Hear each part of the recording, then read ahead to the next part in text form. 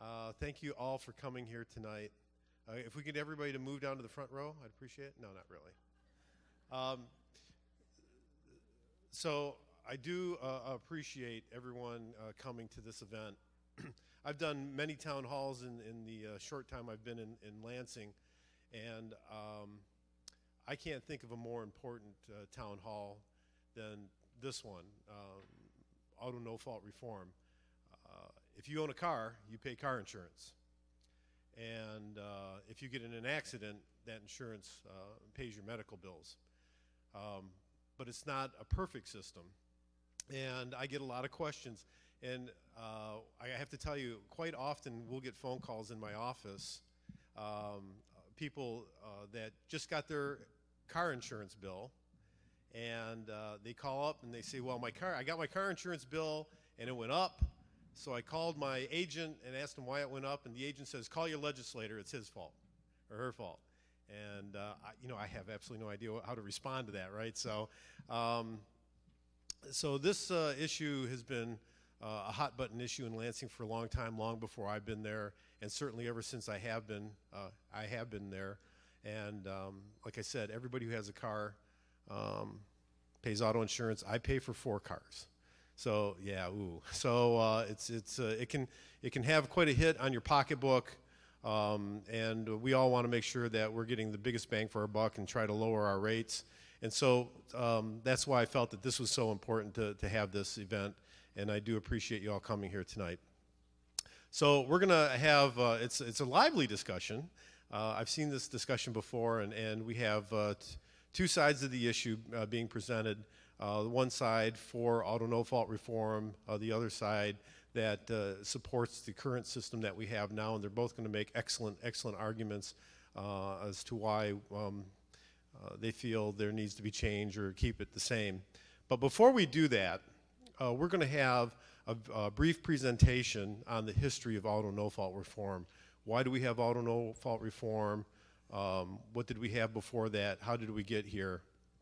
And uh, I think a little bit of history as to why we have the uh, current system that we have now is uh, very important as we move on to the discussion of talking about uh, reforming the system as a whole. So um, I know we said uh, we were going to start at 6 o'clock, and, and uh, our friends from Lansing got to find out what uh, metropolitan Detroit traffic is like. And I commute every day, by the way, guys, so I have no sympathy for you. Um, but, uh, and I bet you're glad your insurance has been paid up. Um, but uh, we're going to go ahead, and our first speaker actually is a state employee from the Department of Insurance and Financial Services.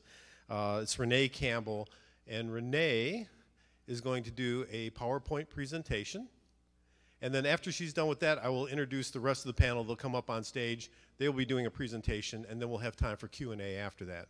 So thank you very much, Renee. Thank you for coming. My name is Renee Campbell, and I work for the Department of Insurance and Financial Services. I'm a manager in the insurance unit um, in the Office of Consumer Services.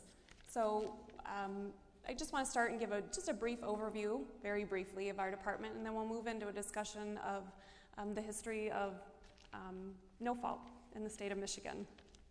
So the Department of Insurance and Financial Services regulates Michigan's financial service industry. We are fee funded, and we do not require public tax dollars to operate.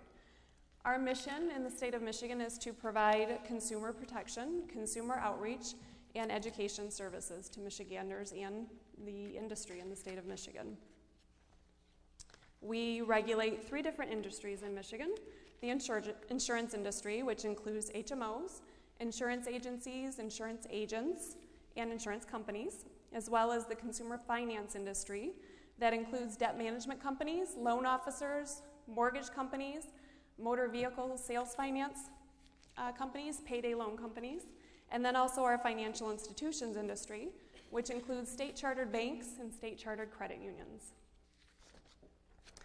So before I get started, one of our pet peeves in the industry is the use of the word PLPD. So this term existed prior to the implementation of the no fault law.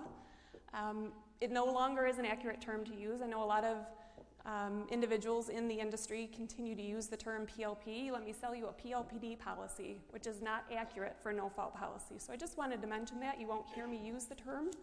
Um, we try to correct when we hear insurance agents call our office and use the term PLPD, we tend to correct them and say, that's not an accurate term. When we have consumers call our office and say, I bought a PLPD policy from my agent, we say, no, you did not. You purchased no fault insurance. So that's not an accurate term. So I just wanted to mention that. Um, I was asked by my superiors to mention that at the presentation tonight. So let's get started and let's talk about no fault insurance and its history. So, what is no fault? It is an insurance system that allows policyholders to recover financial benefits from their own insurance company. Financial benefits such as first party medical benefits, regardless of who is at fault for the accident. So, in order to do that, or what allows them to do that in exchange for that, it also restricts the policyholder's benefit right to sue. So, when we implemented no fault and we said policyholders, everyone goes back to their own, their own insurance company um, for benefits, we also said you no longer have as, as much right to sue another person. So that essentially is the no fault system. Prior to 1973, Michigan had a traditional tort system in place. So if you were injured in an automobile accident, you had to ascertain blame, you had to hire an attorney, and go to court. In Michigan's no fault law, when it was adopted on October 1st, 1973, it was adopted essentially because of the poor performance of our tort liability system. There were long payment delays, there were inequitable payments, and there were high legal costs. Three objectives of the no fault system. When we implemented the no fault system, there were three objectives. One, to increase the level of benefits that were paid to injured persons, ensure prompt payment of benefits. So instead of being drawn out in the legal system, we wanted to ensure that benefits were being paid promptly. And we wanted to ensure affordability by reducing, reducing the proportion of premium dollars that were being paid out by the insurers for legal and administrative costs. Well, prior to 1973, it was estimated that approximately 69,000 auto injury lawsuits were being filed every year. So that was something that was also looked at at the time. Moving on, the, the Michigan Catastrophic Michigan Catastrophic Claims Association, the MCCA, that's the acronym you're probably most likely to hear, the MCCA, was created by the legislature in 1978 and was formed as a private nonprofit association. So from 1973 to 1978, auto no fault automobile insurers were paying claims as a result of the implementation of the auto no fault law. From 1973, for the first five years, automobile insurers, what they would do, no fault automobile insurers would go out and, and seek reinsurance, get a reinsurance policy to help pay their pay claims, help them pay claims um, for these catastrophic no fault policies. It became more difficult for the no fault automobile companies to get reinsurance. In response to that, the legislature enacted uh, the Michigan Catastrophic Claims Association. So essentially, the MCCA now provides reinsurance to its member companies for the payment of unlimited first party medical benefits that are required under the no fault law. Currently, the MCCA will reimburse no fault automobile companies for uh, personal injury protection claims that are in amounts over and above $545,000. Each automobile insurance company that's writing auto insurance in Michigan is a member of the MCCA, and the MCCA is financed through its assessments to their member companies.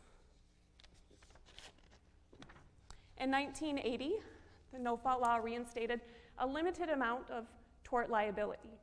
Most likely, you'll hear this referred to as mini tort. It gives an individual the, at that time, it gave the individual um, the ability to be sued or to sue for up to $400 in physical damage to their vehicle. At this time, the law has been increased to $1,000. So if you cause physical damage to another person's vehicle, that individual could then come after you for up to $1,000 in physical damage to their vehicle. In 1980, this change came about as a result of consumers complaining that they were being required to pay their collision deductibles when they weren't at fault for an accident. So this is commonly called mini tort, and I'll talk a little bit more about this a little bit later in my presentation. So step back for just a little bit. In 1977, Catherine Shavers brought an action to the Michigan Supreme Court challenging the constitutionality of the Michigan no fault law. In 1978, June of 1978, the court held that the no fault law was constitutional and that it provides benefits to accident victims in lieu of having to bring a lawsuit. However, the court also determined that the rate making mechanisms under the no fault law or under the law were inaccurate, and it gave the legislature and the Commissioner of Insurance 18 months to um, remedy those deficiencies. So, in response to that, Public Act 145 of 1979 was passed. This is commonly known as the Essential Insurance Act, or EIA for short. The Essential Insurance Act impacted auto and homeowners insurance in three different ways underwriting, rate making, and consumer rights and information. So I'll talk a little bit about each one of those things. Once the Essential Insurance Act was passed, insurance companies had to put their underwriting rules in writing. The underwriting rules have to be applied in the same manner to everyone. The factors for the underwriting rules that the companies used are stipulated in the law, they're outlined in the law. It also guaranteed access to auto and homeowners insurance to everyone as long as the applicant is eligible. And eligibility or eligible applicant is defined in the statute. The Essential Insurance Act also, eliminate, also eliminated prior approval rates by the Commissioner of Insurance. So the insurance companies no longer had to get approval, had to file their rates and get approval before they could begin using them. Insurance companies, auto and homeowners insurance, can now file their rates and begin using them um, without receiving approval. The law also stipulates, the Essential Insurance Act also stated that rates cannot be excessive, inadequate, or unfairly discriminatory. Companies can now make immediate rate adjustments to keep up with market, market competition. And the law allows insurers to use rating territories to determine premium, meaning they can look at zip codes to determine rates. However, companies, consumers have the right to know the information upon which a company uses um, to determine a, a, rate or an underwriting decision. So if there's been a decision to um, change your premium. A consumer has the right to ask for that information, and a company has to provide that. Or if coverage has been denied, a consumer now has the right to ask for all the information that went into making that decision. Consumer also has the right to appeal a company's decision if he or she believes that it's improper. So, going back to no fault, I'd like to talk a little bit about the three main components of no fault and give a little background on those, those components. You have personal injury protection, PIP, property protection, also known as PPI, and residual liability, bodily injury and property damage. So, personal injury protection. This is one of the main components that we hear most often, most complaints about in our office. This provides first party medical benefits, unlimited medical and rehabilitation benefits for an individual for a policyholder's lifetime. It also provides monthly, monthly work loss benefits payable for a maximum period of three years from the date of the accident. If the policyholder or the individual that's injured in the accident passes away, it also provides a monthly survivor loss benefit payable for a maximum period of three years from the date of the accident. Those are currently both set at a monthly benefit of $5,392, and that's set to increase on October 1st of this year. Personal injury protection benefits also include replacement services of up to $20 per day for up to three years from the date of the accident.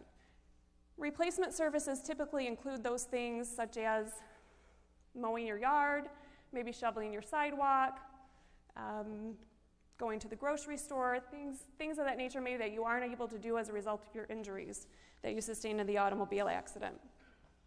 Also includes funeral and burial, burial expenses of at least $1,550. That's a minimum, ben, minimum benefit, but no more than $5,000. Property protection insurance.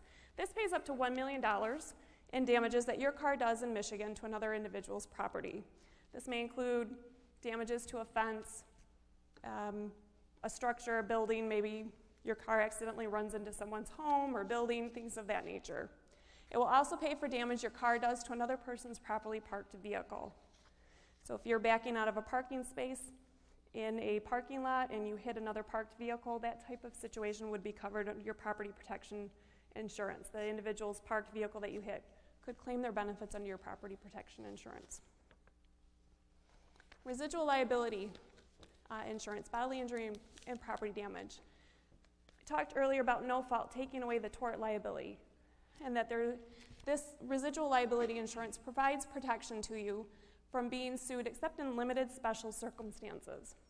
Those special situations are involve situ- circumstances in which you cause an accident in which someone is killed, seriously impaired, or permanently disfigured. Or you're involved in an accident with a non resident in Michigan who is also an occupant of a motor vehicle that's not, resi- not registered in Michigan. You're involved in an accident in another state. Or the mini tort, where we talked about that earlier. You're, you are, um, cause physical damage to another person's vehicle of up to $1,000. Those, those circumstances I listed right there are situ- situations in which you could be sued. Your no fault policy would provide coverage to you up to certain amounts. And this is where you, your liability insurance comes into play. You'll often hear insurance agents refer to 20, 40, 10, $20,000, $40,000, $10,000 limits. Um, you may have purchased higher limits on your policy, but your liability insurance will pay up to $20,000 for a person hurt or killed in an accident, up to $40,000 for each accident if several people are hurt or killed, and up to $10,000 for property damage in another state. Michigan's minimum limits for residual liability insurance for bodily injury and property damage are $20,000, $40,000, and $10,000. Those are the minimum limits. However, there are many there are some insurance companies in Michigan that won't sell those limits to you. If you ask for Michigan's minimum limits, you, if someone is wanting those minimum limits, they have to shop around and find a company that's willing to offer coverage at those minimum limits. What that means if you sorry, if you purchase insurance at those minimum limits and you're involved in an accident, for instance, where you hurt or seriously kill seriously killed. If you seriously hurt or kill an individual, and there is a judgment against you, say, for $100,000, but you only carry $20,000, you'll be personally financially responsible for that difference of $80,000 because your, your liability insurance is only $20,000 and your insurance carrier will only cover you for $20,000. And that's why most, um, if you're speaking with an insurance agent, many insurance agents will encourage you to carry higher residual liability limits. So, some optional coverages, like I just spoke about, higher residual liability insurance limits. There is the mandatory no fault coverage you carry personal injury protection, property protection insurance, residual liability insurance. You can carry residual liability insurance limits higher than 20, 40, 10. Mini tort or limited property damage coverage, that's not a mandatory coverage. So, that $1,000 we talked about, where you could be held responsible for $1,000 in physical damage to someone else's vehicle if you're at fault. You can carry coverage on your, on your policy, it's not mandatory. Um, you can ask for it. Your agent might refer to it as mini tort or limited property damage coverage. You can carry that on your policy for an additional premium.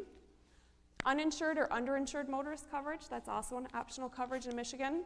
And then, of course, collision coverage and comprehensive coverage, those are also optional coverages um, on, your, on your policy. So then just to provide a, just some brief points um, on no-fault coverage. A no-fault policy will cover all family members living in the same house. We get a lot of questions on this at our office, individual contacting DIF with, que- with questions. PIP benefits are paid even if the family member in your household is a passenger in someone else's car.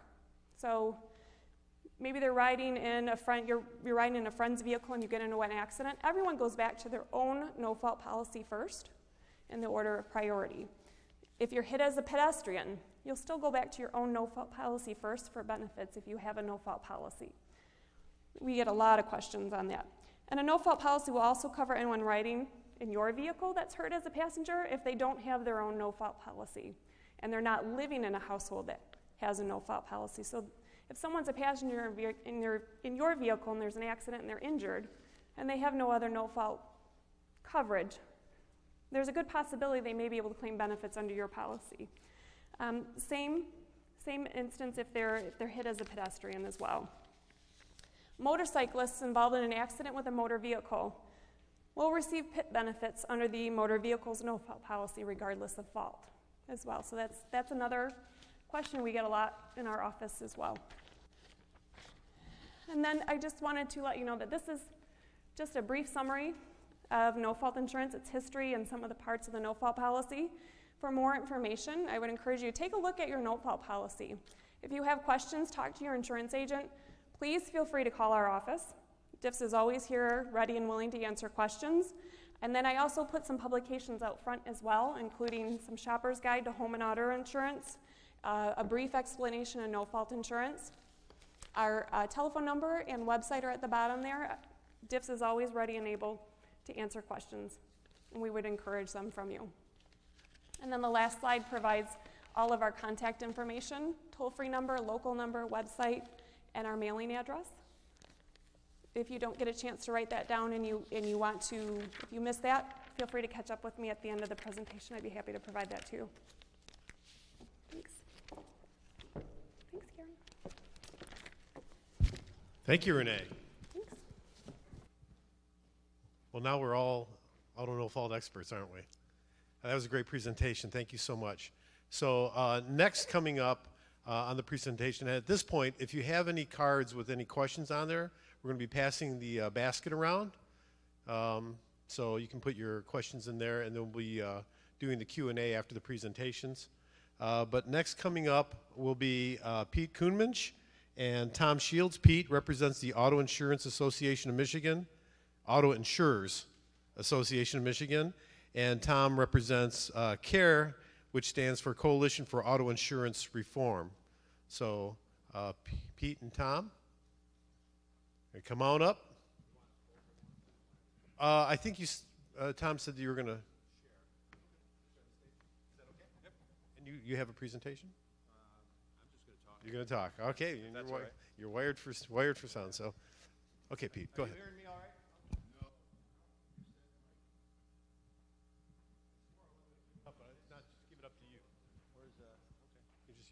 I haven't happened. Okay, how's that? Well, after Renee's presentation, we all know about no fault insurance, right?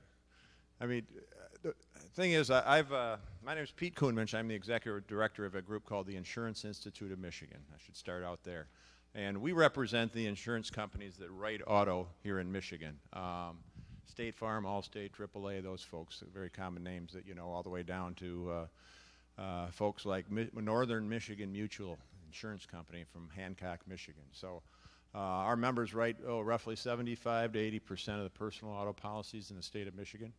And uh, I've been with the association for about 11 years now. Um, so um, I, I don't consider myself an insurance guy, but I represent the industry now. So um, what we'd like to do really is kind of make a case this afternoon to this evening for um, some changes to our no-fault system. And as, and as Re- Renee, I think, presented, um, we've got a pretty comprehensive, um, really beneficial system, but it's a very complex uh, law with a lot of nuances to it.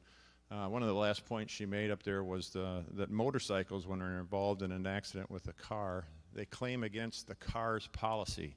And we, we get a lot of those calls too, Renee, uh, about folks complaining that, well, wait a minute, I thought we were in a no fault state. Why is this motorcyclist claiming against my car? Because that's not the theory behind no fault. The theory behind no fault is all we, we all self insure and we go to our own insurer when we get into accidents. Well, that's one of the anomalies in the law, and there's several of them out there that we can talk about. But um, you know, it's a very complex law with many moving parts. Uh, it can become a very emotional issue um, because of the, um, the severity of the accidents that we see in the auto insurance marketplace. Um, uh, but reform, we think, is very possible, and we think it's necessary. I'm going to talk about that a little bit uh, about why we think it's uh, a requirement of uh, some making some changes here. Uh, Renee gave a good background that I'm not going to repeat about the history of the development of our no-fault system. Uh, we're one of 12 states that utilize a no-fault system for auto insurance purposes. There used to be 16. Uh, some of the states have moved away from our no-fault system. Uh, Colorado, I think, being the most recent that decided to go back to a tort system, where if you're in an auto accident, you basically have to sue the responsible party for your benefits. Um, Michigan's the only unlimited benefit state of all the 12 no-fault states. In fact, uh, we can argue about the details, but uh, New York has a mandated PIP benefit of 50,000. Uh, I think it's Pennsylvania has 15,000, but then they have an optional $250,000 catastrophic coverage. So those are the those are the uh, states, the no-fault states, that are most near Michigan as far as mandatory benefit. We are the only state that has this lifetime unlimited benefit. So that explains some of the costs, but it's a it's a very um, beneficial system for the consumer. Uh, unfortunately, this unlimited lifetime medical benefit uh, didn't come with any checks and balances. Uh, we've got a system that uh, provides a, a, wonderful benefit to the consumers, but we have uh, no mandated treatment protocols within the law. Uh, so if your doctor says you need it, you get it pretty much. Um, we've got a system, unfortunately, that has a provision in the law that was, I think, actually designed to contain costs. And what it says is, um, healthcare providers can charge no-fault insurance companies and no-fault carriers only um, the same amount that they charge non-insurance payers. Now, if you think about that, it's kind of strange language, and I think back in 1972 when we enacted our no-fault statute, it made a lot of sense because if you walked into a hospital back in 1972, what you got charged was basically the same thing that everyone was charged. Um, what's transformed since that time is a huge cost shift within our healthcare delivery system. Medicaid came along and established a fee schedule. Well, the hospitals had to make up the difference because that was somewhat inadequate. Medicare has a similar fee schedule. In the mid 1980s, the state of Michigan passed a fee schedule, medical fee schedule associated with the workers' compensation insurance system. Um, and so what you've, what you've seen transpired is the Many of the payers under the healthcare system have these statutorily mandated healthcare uh, limits as far as the charges. Uh, no fault does not. We were, we, we, were late to the party, if you will, with respect to trying to enact a fee schedule to help contain costs like all these other systems have done. So uh, combine the unlimited benefit with the basically, um, you know, the, the, the, wide open treatment protocol, if we, you will, uh, and the lack of a fee schedule, those costs are starting to catch up with us. And that's, that's why the industry is promoting changes to the no-fault system. Um, you know, what the, the current bill that's before the legislature, Senate Bill 248, it came out of the Senate and the House Insurance Committee and sits on the House floor. Um, that tries to enact some of these cost reforms. One of the things it tries to do is go after fraud. Another is it, it, it uh, adopts a medical fee schedule, similar to the work comp system. Um, it also tries to go after some abuses that we've recognized in attendant care delivery. And uh, what's the fourth component, Tom, I'm missing? Yeah, we, we talked about the fraud authority, attendant care. Oh, the MCCA. Um, the MCCA is what's called a reinsurance mechanism, and we're, you know, I think Renee mentioned that that was actually added about four years after the enactment of no fault because with the unlimited lifetime medical benefits, some of our smaller insurers, when they got more than a couple of these cases on their books, it began to threaten their financial uh, viability and their solvency. So the state stepped in and said, okay, we're going to protect the smaller insurers, and we're going to make everybody participate in this reinsurance mechanism called the Michigan Catastrophic Claims Association. And it, it, did a good job of basically protecting the solvency of the companies. Um, and that's been in a place, as I said, since 1978, and that was, again, a state mandated component of our no fault system. So here we are, the only state with this unlimited medical benefit. And because of these kind of lack of cost controls, we're kind of facing the rates that we see today. Now, you know, in some areas of the state, it doesn't look too bad. We're, you know, depending upon what figures you believe, we're anywhere from the, the highest auto insurance uh, state in the union to the seventh highest. Uh, but the reality is, it's it, it's easy to understand because we've got the highest mandatory benefits uh, that are required of any insurer. I can't sell you a policy anything less than lifetime unlimited medical. The law doesn't allow it. So um, what we've tried to do with the reforms is try to address some of those things. One, adopt a medical fee schedule. Um, and we can argue whether or not you want government interfering with uh, you know, the private market, as it were. But government's already done that. They mandate that you buy car insurance. And they mandate that you can only buy an unlimited medical benefit. So our belief is that if it, the state government's going to mandate that benefit, then they ought to have a hand in trying to control those costs. Ergo, we have a proposed fee schedule. Um, the fraud authority just kind of makes sense to us. We're one of the one of the uh, only no-fault states that has no centralized fraud authority in the state here in Michigan. So we've proposed a five-year pilot uh, to basically generate some revenue to help prosecute the fraud that we know is out there. And we'll have mandatory reporting by the companies for the first time so that we'll actually have a picture, a statewide basis of where the fraud is emanating from. And again, as I say, generate some funds to pay our local prosecutors and law enforcement agencies to go after that fraud because right now it's not much of a priority for them. They have bigger fish to fry, if you will. So the fraud authority combined with that fee schedule, I think will have a significant impact on the cost of auto insurance. Uh, the changes to attendant care is kind of a long-term fix to a, uh, a, problem we've seen out there. And then the, uh, the change to, of the MCCA.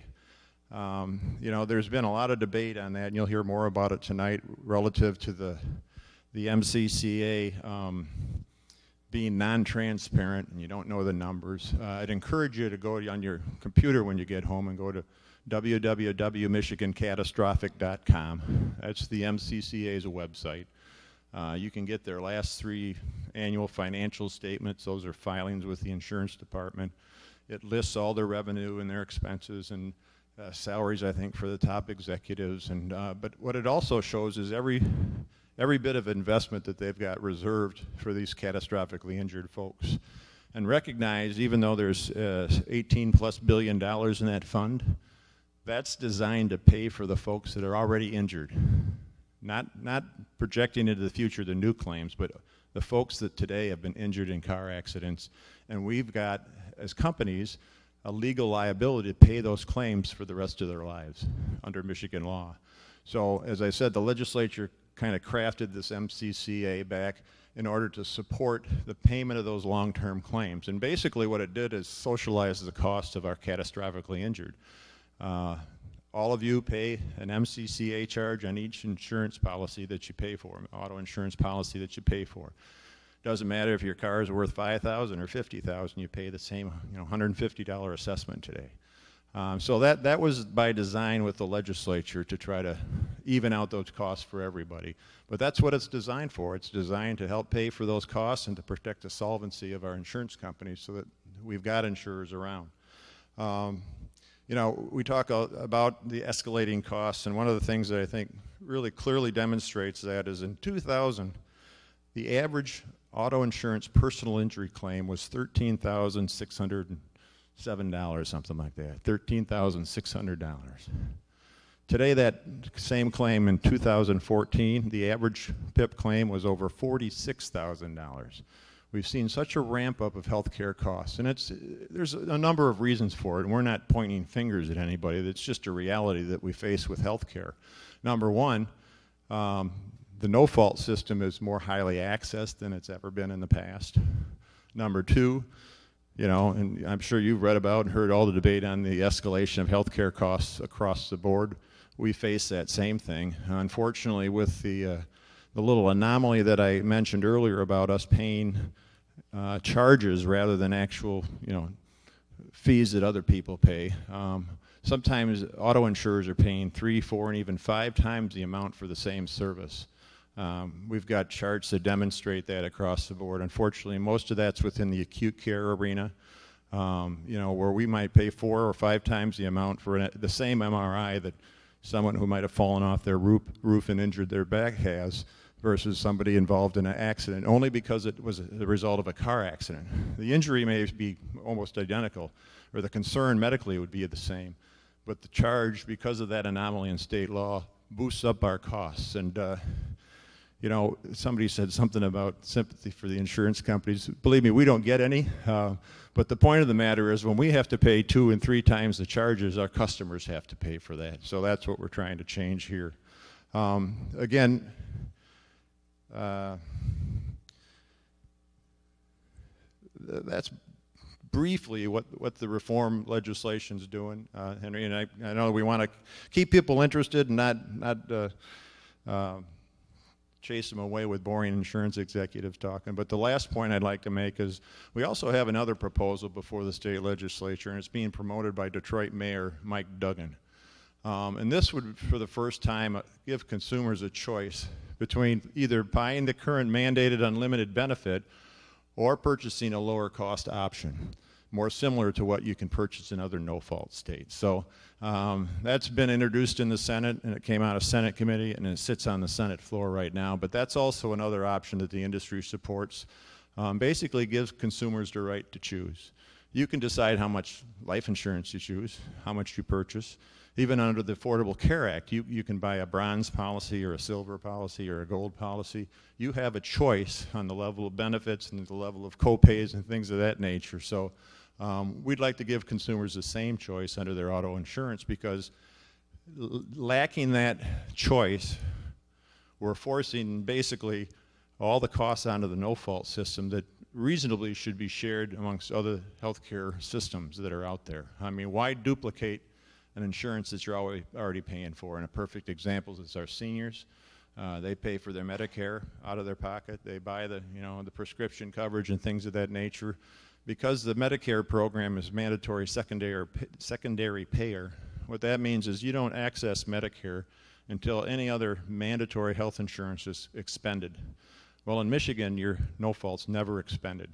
So you never can rely on your Medicare to help pay for your auto insurance claims. And that boosts up, up the cost for everybody because we can't coordinate that benefit. Can't do it with Medicaid, we can't do it with Medicare, and increasingly, we can't do it with your basic health insurance because the plans have gotten smart and excluded that. So, with that, Henry, I'll uh, pass the mic on. Thank you. Thank you, Pete. Thank you. And uh, to continue the uh, presentation on auto no fault reform, uh, we have Mr. Tom Shields from uh, CAIR, the Coalition for Auto Insurance Reform, who has a PowerPoint presentation. Is that correct? We do, if we have somebody who can turn it on. We're taking a break. And in the meantime, uh, while we're waiting, uh, again, if you have any questions, um, please uh, pass them along. Um, Bob will be collecting them. And also, as everybody, as uh, Gary's got one over here, and also as everybody signed in, we had uh, a table full of uh, information. I encourage you, if you haven't picked any of that stuff up, to pick it up. I doubly encourage you to pick up the medication form that I have. Uh, and I, I, know I've said this before, but as a, as a paramedic, nothing is more important if you have to call 911 than to get your medical history, to know what kind of medications you're taking, what kind of uh, um, um, medical problems you have. So uh, if you're incapacitated, we know how to uh, properly treat you and let the doctor know when we get you to the hospital. And it's extremely important that we can find it. so a lot of people have the list, you know, they got it tucked away in their wallet or in their purse. Uh, but uh, you get that medical form, you put it on a refrigerator magnet, or you put it on your cupboard. So uh, when 911 gets there, they find it, and uh, it, it, trust me, it extremely, uh, it makes an extreme difference in the care that you get, and we want to make sure that we provide proper care. So, um, having said that, okay, we're ready to go. Thank. Here is the microphone working. Oh, you got it. Is it? It's working. Okay, wonderful. Good afternoon. My name is Tom Shields, and I'm with the Coalition for Auto Insurance Reform. Pete and I actually had talked beforehand about splitting up this presentation so it wasn't Pete and repeat. But unfortunately, he already talked a lot about the legislation. But I'm going to go into a little bit more detail of it and talk about the reforms that are actually in front of the legislature that Representative Yanez and others will hopefully be voting on sometime in the near future in, in the State House. Uh, the Coalition for Auto Insurance Reform includes companies, insurance companies that are members of, of Pete's organization. The ones that aren't members of his organizations are also involved with the coalition. It includes organizations like the Michigan Chamber of Commerce, Small Business Association of Michigan, NFIB, Michigan Insurance Agents, the Michigan Farm Bureau, all to working together trying to reform no, no fault insurance. Um, and and uh, there was a, a bill introduced uh, in, in the state Senate to start this whole process off back in March or April uh, by Senator Hune. And uh, that bill was Senate Bill 248. And, and that bill, I think it's important to remember as we go through this process, is that it changes a lot. It's not, you know, we can talk about what's in this bill today, but it may not be in this bill tomorrow. But there's general intent here of the legislator and what they're trying to do, which I think has been pretty consistent overall as we've gone through this process. Uh, and if we looked at Senator Hune's bill, I think he introduced it, and the next day before it even was taken up by committee, there was already a substitute. And then it went into the Senate committee, and it changed again, and it passed the Senate and then it went to the, then it went to the, uh, Uh, went to the Senate floor, it changed again, and it passed the state Senate and was sent to the House. Went to the House Insurance Committee, and they changed it some more. And, uh, and that's where it sits today. And we, we, uh, it is on the, the House floor of the Michigan House of Representatives to be taken up. And I am sure when it is taken up, and they go, it'll change again as we go through this process. But as we've gone through this, I think the intent of the overall bill has been very consistent. And that the intent of the legislature to do this, and we didn't write this bill from the insurance industry, the, the, other, the opposition did not uh, write this bill. It was written by the legislature, and so we're all dealing with what they're certainly, we would certainly write a different bill if we could. Uh, but we, uh, we'll, we'll, take the good with the bad, and, and, and we generally support uh, this bill because of what it does in the overall intent. The overall intent is really is to protect no faults unlimited medical benefits that are so it's a wonderful benefit that they have in this state is to protect that benefit, but at the same time do something to make it cost less. Do something to try to, to bridge some of the costs that are in it so that the average driver in the state can, can, can afford auto insurance. And it's become unaffordable in the state, and we're trying to do something without affecting the number of benefits. So there's a number of provisions in this bill to do that, and uh, I'll go through those. What we try to do is look at some of the changes. As Pete mentions that when the bill was, when no fault was passed some 40 years ago, things have changed since then. It's morphed into something that wasn't really intended to do. So it tries to take a look at some of those things and some of those consequences that have happened from the, that morphing process and see if we can go back and fix some of those. One of those is a fraud bureau. And uh, Michigan is only one of eight states in the country that does not have a fraud bureau. And as you can imagine, with the most generous benefits in the country, that we are ripe for people trying to take advantage of that and commit fraud on this and try to cheat the system. And when they cheat the system, it, raises the cost for everybody else. You all pay for that, and every one of you are in your, in your auto insurance bill every time. Every time somebody cheats the system, it costs all of you. It doesn't cost the insurance companies as much, it costs all of you because the rates just go higher. So we're trying to do something to that, and Senate Bill 7, uh, 248 creates a fraud bureau for the first time in the state of Michigan. It's sort of complicated how it works, but basically uh, there's a, a, pot of money that's put together. It's paid for by the insurance companies uh, at an average of about $2 a car uh, and it puts money into specific efforts to fight fraud uh, in the auto insurance uh, in, in, the auto insurance companies in, in, in the state. Uh, in New York, there was just an article in the paper a few weeks ago or a few months ago that talked about auto insurance fraud. They discovered a ring in New York that was $170 million of, of auto insurance fraud in the state of New York. And this is a, a state that only has $50,000 worth of medical coverage. Could you imagine what it is in the state of, potentially what it is in the state of Michigan? You have unlimited medical coverage. There's an article in your packet we put out here that uh, um, talks about a fraud bureau that was, that was a fraud effort that was discovered here in the Detroit area. Um, and it's actually by the federal government. And the federal agents found this, and they filed a RICO suit. What you had is you had lawyers and medical personnel, uh, and, and they were working together in order to find people who were in auto accidents but weren't necessarily getting any, any care at this point in time, convince them that they needed some care, bring them in, do five, six, seven treatments a day, and then bill the auto insurance companies at six times the rate of what they billed for Medicare payments. Six times the rate. And the doctors, they still haven't been convicted of anything yet because they justify it saying that as doctors, we can choose how much care our patients should get, and there's nothing wrong with billing six times the Medicare rate. What it does is just raises all of your costs, and it goes to the point of this is one of the reasons why we need to address trying to get some control of the cost of Medicare. So the next one is trying to lower the cost. We try to set up, as Pete talked about, was a medical fee schedule. In this case, this has changed. This initially was uh, the workers' compensation fee schedule. Now, as the bill currently sits, it's 150% of Medicare, which means that if you go in and get a, uh, uh, an x-ray uh, under, under Medicare, they're going to pay $100 and for, it's just it's an example, and if you are uh, an auto and accident payment, they will get $150. The hospital will get for that x-ray, which means they'll pay 50% more. That is huge savings on your, in your auto insurance bill. Right now, they, were billing, they are being billed at three, four, and five times the rate for that exact same x-ray. We will gladly take that. And it'll, it'll be a big savings in your auto insurance bill if we can get some type of simple medical fee schedule uh, involved uh, in, in auto insurance. Um, that 150 is slightly more than the average commercial policy pays. So it's slightly more than Blue Cross Blue Shield and some of the other ones pays. Uh, so it's not, it's, and those are, those are rates that are negotiated by the hospital, they're negotiated by these medical providers, and they accept those for everybody else. But at the same time, they're using the law, the little quirks in the law, in order to bill no fault at this point in time, um, three and 400 and 500 percent more than what they bill other people. So we're trying to just make it fair. We're not trying to cut it below. We're not trying to make sure they lose money. We're just trying to make it fair so that we can get some control over the overall cost of medical care. Secondly, what we try to do to lower costs is we talk about attendant care.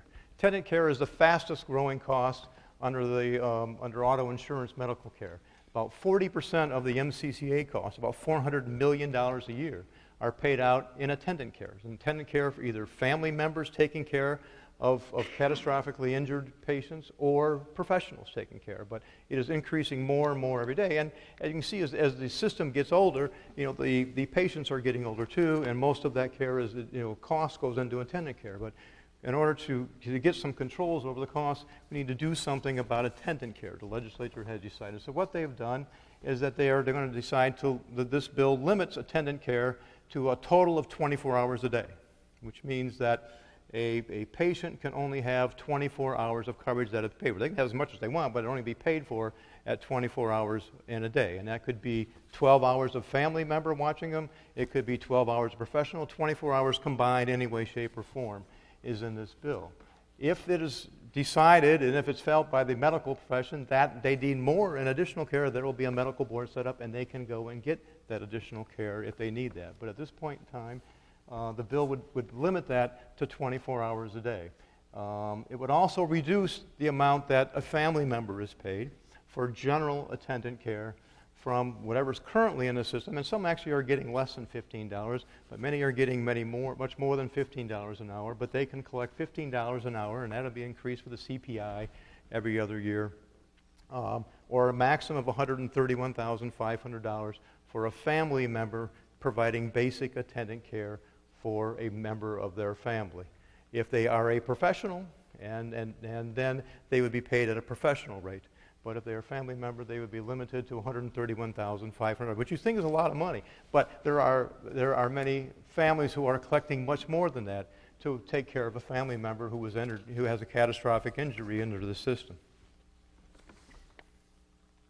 And if they do that, if we do enact these costs, then the insurance companies will have to freeze the rates as of January 1st in 2016, the current auto insurance rates, and reduce those next June by $100 per car, or an average of about $200 per family, or a total savings of about $700 million uh, over uh, per year for Michigan auto, for Michigan drivers. This is about equivalent to what they're talking about raising your taxes for the road. So um, it's, it's, but it's a significant amount of dollars. It's about 10% of the average insurance bill.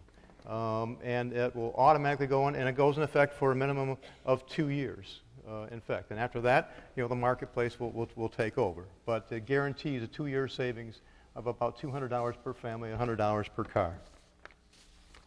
Lastly, as Pete talked about, is the MCCA. And this has been a bone of contention from both sides for years. Um, neither side really like the MCCA. The people who want to keep the current system and oppose reforms uh, don't like the MCCA because it's run by the insurance industry, it's not transparent, um, they're not receptive, and they're not open to the public, and, and they want to see changes to it. And there's lawsuits going on, and it's all the way up into the Supreme Court at this point in time. The insurance industry, on the other hand, doesn't like necessarily the MCCA. They don't want to allow other people in because they're responsible for making sure those bills are paid. It's their liability. And since it's their liability, they don't want somebody from the public, they don't want somebody from, from uh, non-insurance industry making decisions of what goes on with those funds that are in the MCCA. They want to make sure those funds are there to pay for those people uh, medical bills who have been uh, catastrophically injured. And so that in order to solve that problem, the legislature has come up with the idea of let's create a brand new MCCA a new Michigan catastrophic claims industry. And everybody who is newly injured as of the, after the first year would go into this new fund. And this fund would not be run by the insurance industry this time, it would be run as a public fund. And the board members would be appointed by the governor and approved by the, by the legislature. It would not include anybody from the insurance industry on this fund. And uh, the bills, the, the money would go into the fund, and the bills would be paid directly from the fund. So you don't have to argue with insurance companies anymore. You, you submit your bills to the fund, the fund pays the bills. And those people who are sitting on the board are doctors and medical personnel and hospital personnel and drivers uh, and people who represent the general public would be serving on that board and making those decisions on who gets paid and who doesn't get paid. Those that are currently under the system, that today's system under the MCCA and are catastrophically injured would continue under the current system because it is the liability of the, of the uh, uh, auto insurance companies to pay those bills, and those bills would continue being paid throughout their lifetime until there was no more bills to pay, which could be 70, 80 years from now. But uh, those bills will be taken care of, and there will be enough funds in there to take those people who are currently under the system. Um, there's a, a, piece in your in their folder I put out which goes through and compares the two, but it basically it operates the same way, but it takes the insurance companies out of it, and it puts the public in control. It's open to FOIA, it's open to transparency, it's open to Open Meetings Act, the new MCCA, and hopefully that answers some of the questions and some of the problems that people have had overall with the MCCA. So overall, what Senate Bill 48 does, it's actually a fairly simple bill considering how complicated this issue is. It basically tries to put some reasonable cost controls in place. It tries to be, bring more transparency to the system by, by, by making the, uh, the new MCCA tra- completely transparent. It provides lifetime medical, and it protects the lifetime medical benefits. You still get lifetime medical benefits as long as you are, if you are injured in an auto accident, it doesn't make any difference under the new MCCA or the old MCCA. And it tries to also put some reasonable cost controls in place so that on the short term and especially the long term, we won't see the increases that we have in auto insurance over the last 40 years. Thank you very much, and we look forward to sitting on the panel and answering your questions. Thank you. Thank you. Thank you very much for that presentation. And by the way, Tom, I, I heard that $700 million figure before. I'm not sure exactly where, but I think I saw it in a piece of literature once in my neighborhood. So, um, anyways, so that's the presentation in regards to uh, why auto uh, no fault should be reformed. Now we're going to hear from the other side, uh, and uh, representing CPAN. CPAN. I said I keep saying C-SPAN. I don't know why. CPAN is uh, is Mr. Steve Sinas, who will give a presentation uh, representing the other side. Thank you very much. Thank you all for being here. I think what brings us all together is that we're trying to search uh, for the truth here about the, the no fault reform debate, and the presenters have uh, presented facts and information to you for, for you to consider, and I'm going to give you some insight from my perspective as far as what I do for people and my job as a lawyer. I am part of the legal counsel for the Coalition for Protecting Auto No Fault, but my real job is to represent individuals and people who have been injured in a wide variety of ways, including auto accidents. So, my uh, perspective today comes from representing those people and trying to explain to you some features of our system that I think really need some clarification. The one thing that I really want to bring up today, first and foremost, is the use of the word unlimited. I take great issue with this word. It is used and tossed around in the no fault reform debate constantly by media and other people involved in the debate to say that we have this system of unlimited benefits. If the word unlimited is used to, to, to mean that there's no monetary cap or, or time limit on the, uh, for, for claiming benefits, then that word is appropriate. But if it's used to suggest that there is this constant faucet that people can go up to and just turn on and it pours out benefits and it pours out money forever, whoever wants it, that is completely untrue. And you can go to my file cabinets and you can see how many insurance companies I unfortunately have to bring lawsuits against because they deny people benefits. And they deny people benefits on a number of features under the current law that exists.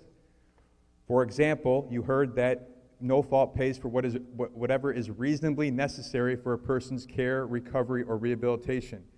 I have countless cases against insurance companies that dispute the reasonable necessity of care.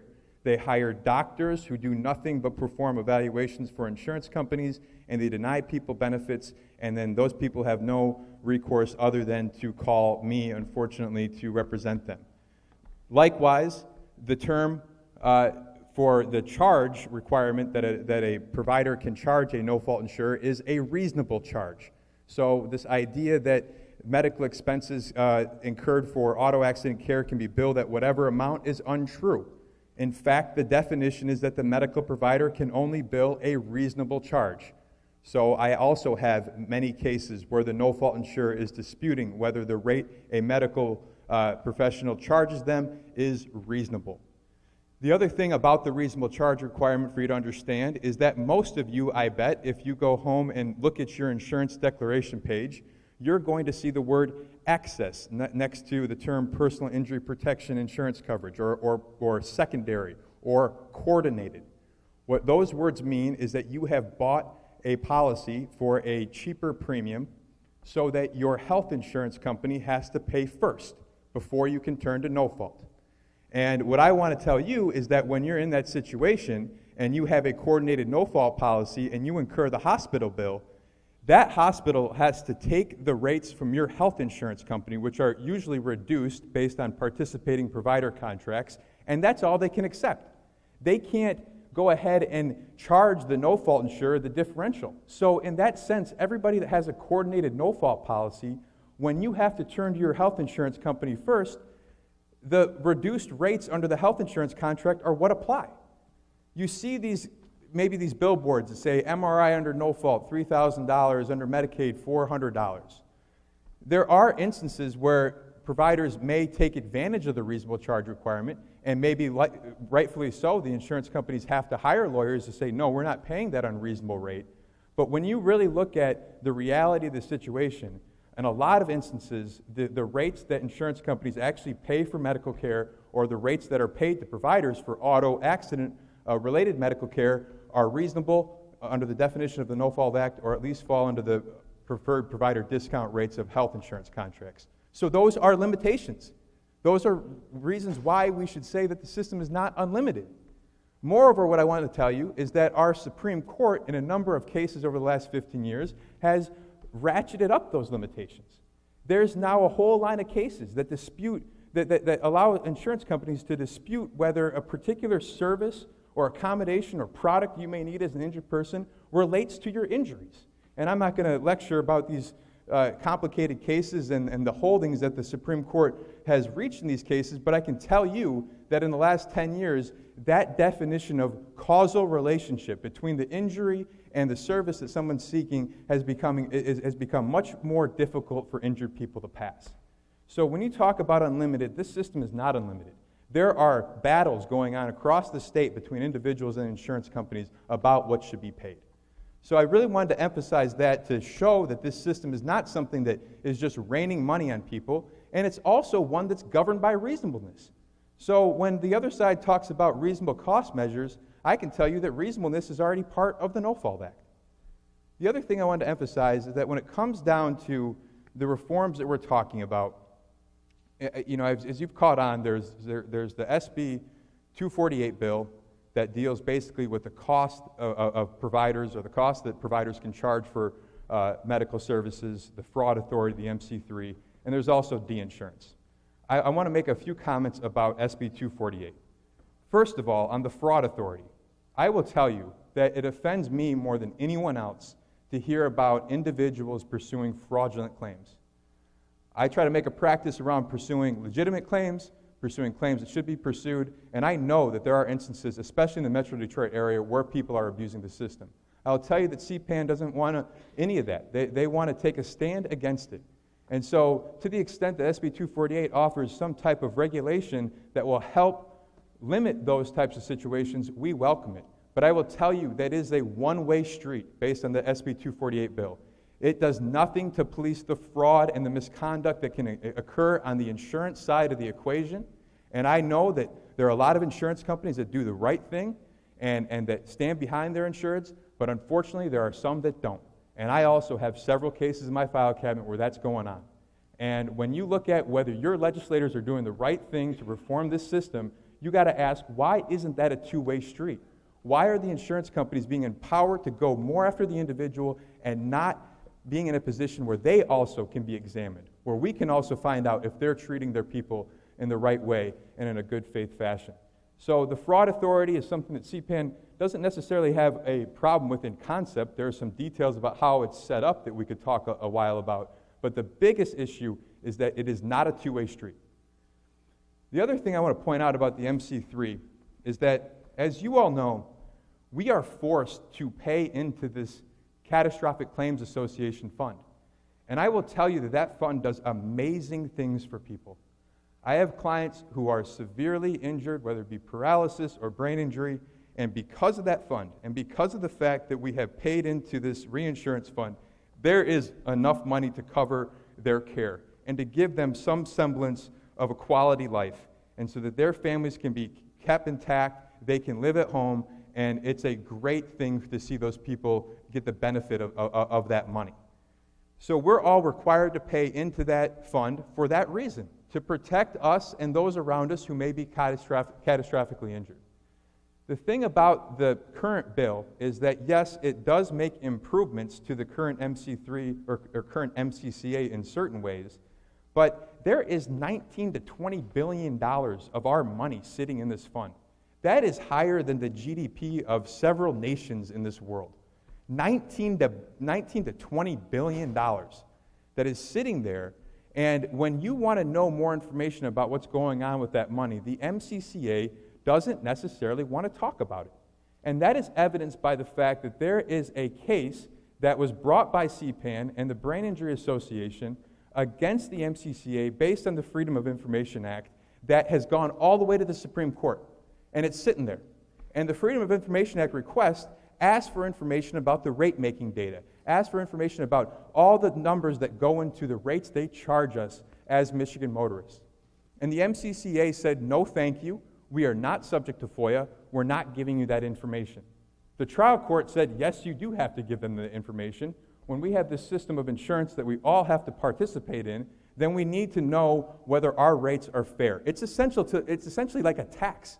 If the government wouldn't tell you how they're taxing you, you'd be outraged. This is essentially a tax that we all have to pay. And the MCCA was saying, no, we're not going to give you that information. The Court of Appeals gave them a victory. The Court of Appeals reversed the trial court and said, no, they're not subject to FOIA. But what I want you guys to know is that that case is pending before the Supreme Court and that the MCCA doesn't want to give that information. Now, could it be that that information shows nothing of any significance? Possibly. But when somebody doesn't want to give you something, you have to assume that maybe they're hiding something. So I will tell you that this 19 to 20 billion dollars sitting in that fund is money that we don't really have an understanding of how it's being used and how our rates are being assessed going forward. The other thing I'll point out about the bill, and this is a little bit technical, but I'll try to break it down in general terms. If that new entity is created, the MC3, and this old one is dissolved, if there's a surplus in the MCCA, the old entity, under the current way it's set up, that surplus goes back to the members of the MCCA. The members are the insurance company. There's nothing in this bill that says necessarily that any money left over in the MCCA, once it's, once it's dissolved, goes back to the individuals. It very well could be swooped up by the insurance companies. I'm not trying to say that that's how they're trying to construct this bill, but there's no protection in the bill for that issue. And that's a real concern. If we've all paid into this system and there's billions sitting in there, it should go back to the people of Michigan in some way or another. The other issue I want to talk about with SB 248 has to do with the back to the reasonable charge requirement. I know that some of the previous presenters uh, talked about healthcare costs and how they're rising in our nation. They are, and that's an issue. But we have to understand what SB 248 tries to do is as its fee schedule in its current form, it says that providers can be paid no more than 150% of Medicare. Now, because so many of us are on Medicare and because we're so used to hearing about Medicare, that might sound like a good deal. That is not a good deal for providers. Providers will tell you of, of high level trauma centers and other uh, high level healthcare providers that if they had to make their margin on 150% of Medicare for all patients they treated, they would not have the type of uh, type of technology and the good level of, of, of, services they have from their medical professionals. They simply wouldn't have enough money to provide that type of service. So 150% of Medicare really is not going to cut it. The idea of having a fee schedule, as long as it provides for the type of compensation that is really reasonable, going back to the reasonable standard, is something that CPAN is, is, is, is uh, willing to entertain. And is, in fact, it has presented amendments to offer a, a, different form of fee schedule that pays something significantly higher than 150% of Medicare, but it at least goes back to trying to have some certainty within the system to improve it. So, those are my essential points about SB 248. But I also wanted to mention something about D-insurance. We all think that D-insurance is Detroit's problem. That, that's something that, hey, if Detroit wants that, let's give it to them. If they can't afford their insurance, why do we care? We don't live in Detroit. We live in Sterling Heights. We live in Dearborn. We live wherever outside of Detroit. Let the people of Detroit have that.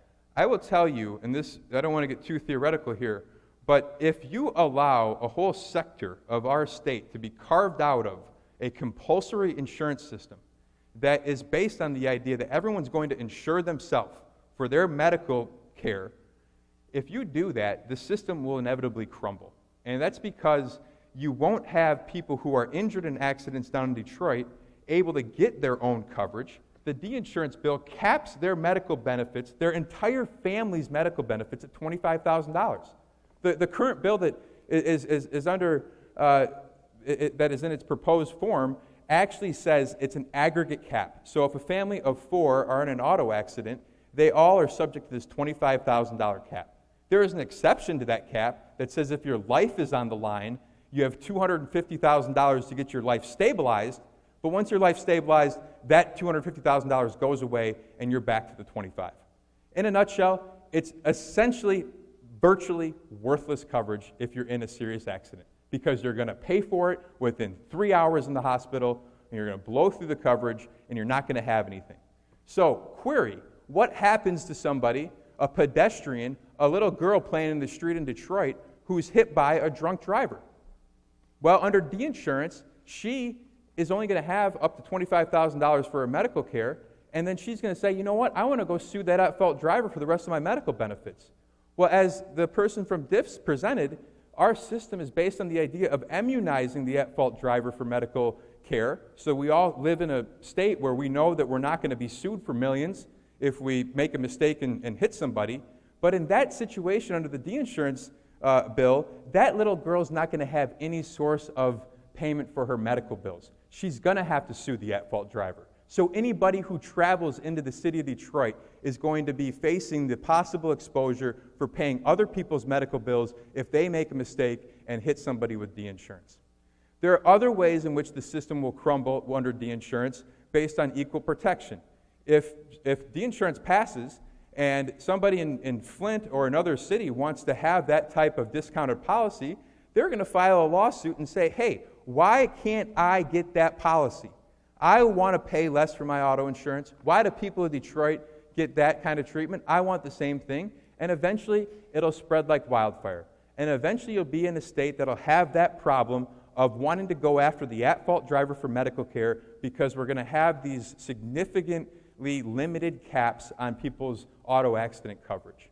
So, D insurance is not just a, a, a, bad deal for the people of Detroit, which I think it definitely is. It is the type of insurance policy I could never recommend anybody buying if I knew them or if I didn't know them. It is terrible coverage. And that, maybe that's my opinion, but I will tell you that if you look down at the specifics of that bill and what it covers, it's a $25,000 cap. The insurance companies get to pick their, the, the doctors you treat with You've got to get pre authorization from the insurance company to get the treatment. It is seriously limited coverage. So it's a type of coverage that the people of Detroit don't want to have, but it's also the type of coverage for all the problems I identified that the people of Michigan don't want to have. In closing, what I really want to emphasize is that this system is a good one overall. It does amazing things for people. It protects us from the potential liability in the event that we actually hit somebody. And these other things that we can talk about are all have to do with improvements have to do with making sure that nobody's committing fraud, that, that there is more certainty with the claims processing end of things. And on that note, some of the amendments offered by CPAN are, are along the lines of making sure that adjusters handle our claims properly. Because unfortunately, I will tell you that there are so many adjusters out there that don't handle it properly. There are a lot that do, but there are a lot of clients I have that twist in the wind, waiting to get their wage loss check, waiting to get their medical bills paid, and the proposed reforms do nothing to help that problem. So if the people of Michigan want to make a difference here and demand something from their legislators, improve it on all sides, improve it for everybody. Thank you.